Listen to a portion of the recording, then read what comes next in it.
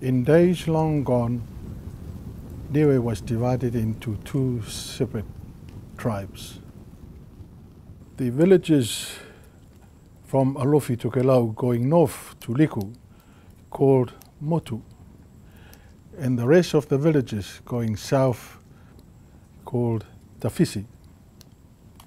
The two tribes never like each other, so warfare always broke out. Motu! Tafisi! Kiai!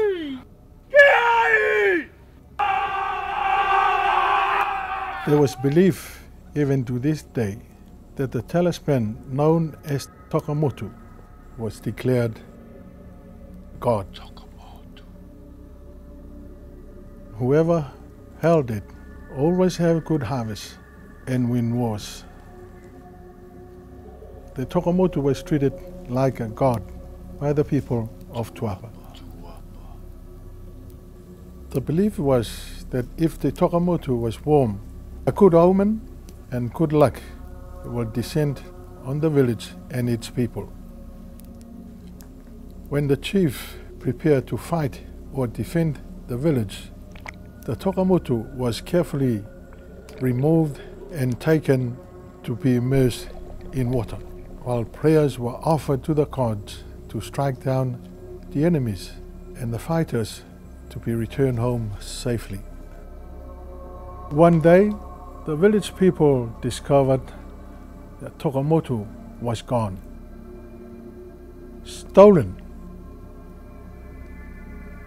Kua iloa he tau ngata. Kua fofo o kua ngaro e Tokamotu. Kua ofo lau tulu. Kua ita. Kua mamoko fuki. Ha kua naka i hai ai e Tokamotu.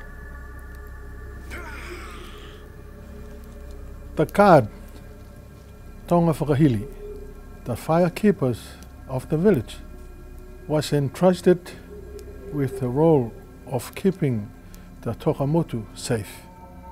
He forgot the honor bestowed upon him. He revealed the secrets of the Tokamotu, the two brothers from Hakupu. The brothers plotted to walk inland and remove the Tokamotu. The Tokamotu was taken down to the sea coast where they hid till night time and safely traveled home.